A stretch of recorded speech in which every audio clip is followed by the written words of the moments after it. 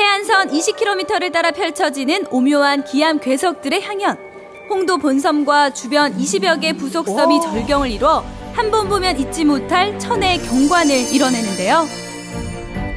이것이 바로 홍도의 진면목, 보물가도 같은 홍도의 33경입니다.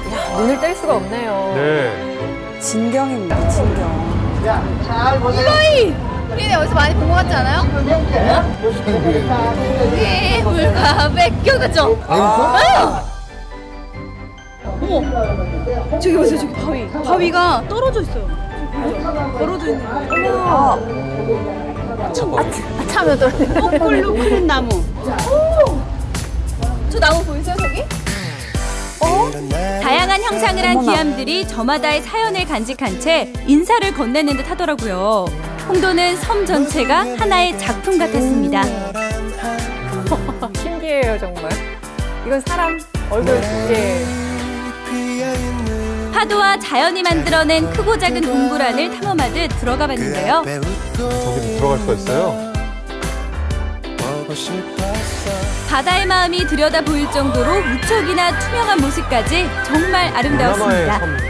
물색이 정말. 굉장히 홍도가 아름답고 조각조각 예쁘네요. 우리나라에 이렇게 멋있는 곳이 있다는 게 너무 자랑스러워요. 아, 오세요. 홍도의 절경에 마음을 빼앗겨 두시간의 유람 시간도 쏜살같이 흘러왔습니다. 그런데 갑자기 유람선 쪽으로 다가오는 심상찮은 배. 이게 바로 홍도의 유람선에서만 맛볼 수 있는 또 하나의 재미라는데요. 우리 우리 내 얘기해 주세요. 유람선을 닿자마자 건너편 선상에서는 싱싱한 회가 그 모습을 드러냈습니다. 이 순간만을 기다려왔다는 듯 허겁지겁 회 사수에 나선 사람들. 뭐 하신 거예요? 네? 뭐 하신 거예요? 모둠. 어? 섞어서. 유람선 곁에서 회를 썰다가 20분 후면 사라진다는 배. 그 정체가 뭔가 했더니 재밌네요. 선상 햇배. 선상했지. 예. 물론 홍도에서 이렇게 하는 거예요. 아, 예, 엉도만 이게 있어요. 야, 기분 나겠는데요? 저도 한입 먹어봤습니다.